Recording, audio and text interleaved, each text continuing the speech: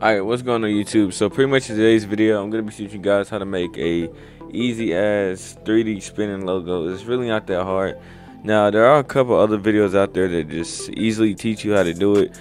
But for some reason, people are just weird and don't like, you know, actually explain or how to, you know, teach somebody something. So, you know, I'm going to be doing that. You feel me? I'm going to be, I'm going to be helping y'all out on some more. But before we get into this, you feel me? Y'all make sure y'all join my Discord down below.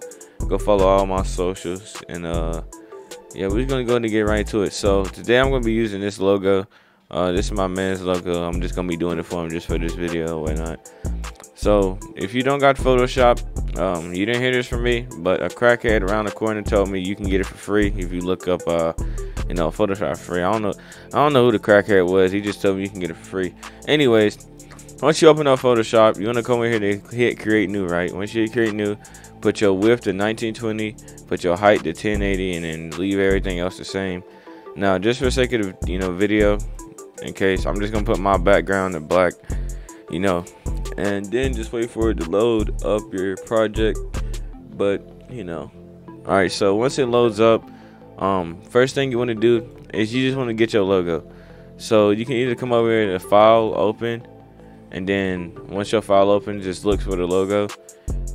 Now if your file is already transparent how you'll tell if it's transparent or not is i'll show y'all again just to just to let y'all see. How you'll know if your logo uh, what how y'all know if your logo is transparent? If there's nothing in the background right here then it's transparent okay? If there's nothing in the background it's transparent. So you don't really got to worry about this but if your logo you know just in case somebody's logo is transparent I'm just gonna look up like M baseball logo, right? I'm just gonna look up this right just to show y'all in case you know your logo is you know not transparent. So come over here, just copy your image or whatever, right? And then paste it. So I'm gonna delete this, but you know, paste it, right? You wanna come over here to the eraser tool, right click on it, click magic eraser tool, right? Magic eraser tool right here, and then boom, delete the background, okay? And boom, that's gone. But that's besides but that's not what we're working with. Alright, so once you do all this, you know, you want to head over here to 3D at the bottom right. It's going to say 3D. Once you come over here, you want to hit the second option under 3D. Okay, and then you just want to hit create.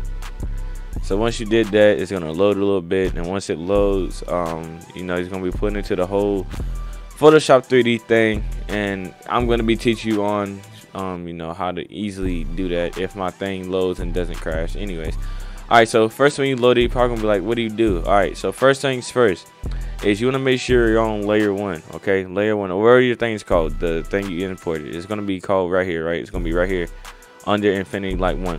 So you wanna click on layer one and you wanna click on this thing right here. It's the fourth option, this one right here, okay? Click on it and then rotate the Y so you see the back of it like this. So you see this thing right here. And once you do that, go back to the first thing, the little star thing right here and just scale it down. This is pretty much what this is is this depends how you know long you want the logo or how short you want it. So just a second we're gonna do like right there so it's you know it's kind of you know fair enough. And then next thing we're gonna do go back to the fourth one and just put the Y back to zero so it's back in its original place. And then you just want to move this you know to the middle a little bit, bring it up, you know so you can work with it. All right. So next things is you want to go under the layer one and you just make this glow. Now you can change this to black. Pretty much what this is is y'all saw we had that that long thing and we made it short. That was the color of it. So we just pretty much changing the color of it. Um, what I advise you guys to do in case it doesn't save, um, when you click on different all these layers right here, layer these all these are right here are the pretty much everything that you work with right here. So every time I click on a layer, I just make sure I turn up glow and make sure you change the color to black whatever color you want. You know just uh you know make sure everything's bright and everything's good. Feel me? Put this back up. Put this to glow. Put over here. Put this to black. Put this to glow.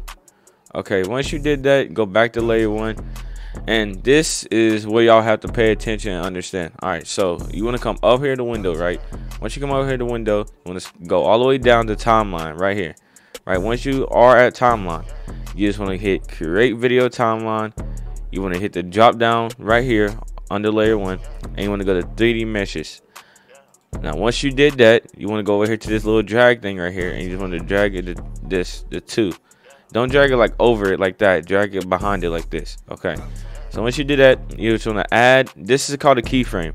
Pretty much what a keyframe is is like, you know how it, you know, this makes it rotate pretty much. I'm gonna show y'all. So you just want to go ahead and add a keyframe, right? Then you want to come over to this little blue drag button right here, and you just want to drag it to one right here on top of it. And so then make sure you are on layer one when doing this, or whatever your layer is called. And then you want to come over here to the fourth option again. You want to go to Y, right? All right, so this way you have to listen.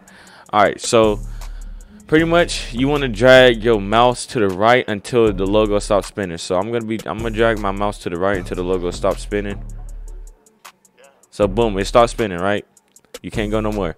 So what you want to do once it starts spinning, you want to put this to zero. That to zero. Okay. Then you want to go drag the blue scale thing again and drag it right here behind in front of the you know two this time. And then what you want to do is you want to drag your mouse to the left until it stops. So boom to the left. Boom. And now what you want to do is you want to put it to negative one. Which trust me on this. Because I'm I did I lucky messed up on a couple things while I was doing this first time. And so boom, if you play it, boom, that's literally that easy. You have a spin logo and you know it looks good you straight so that's pretty much it that's all you really have to do now before you save it i'm gonna teach you how to save it also you want to come up here to file and you want to go to export and you want to go to save for web this right here right and so then just want to wait till it loads or whatnot um, you can put it to anything, but I advise you to put it to GIF. I don't advise you to put it like anything else. Put it to GIF if you want to, you know, to put you in your Roblox game or your, you know, banner on Discord or something. And then click save. Once you click save, um, just save it to a folder. I have a folder called spending logos for all the logos I made. And then save. And then pretty much you're done. And then boom, you have a spinning logo. That's pretty much it. That's that's so easy. You can make logos at spinning for now, and just you know, it's pretty much easy. But if y'all do want to see more tutorials on like how to make different thumbnails and all that, y'all let me know. You feel me? I'm down to really do anything. But um, y'all make sure y'all join my Discord down below. Follow all my socials. My name's KX, and I'm out. Peace.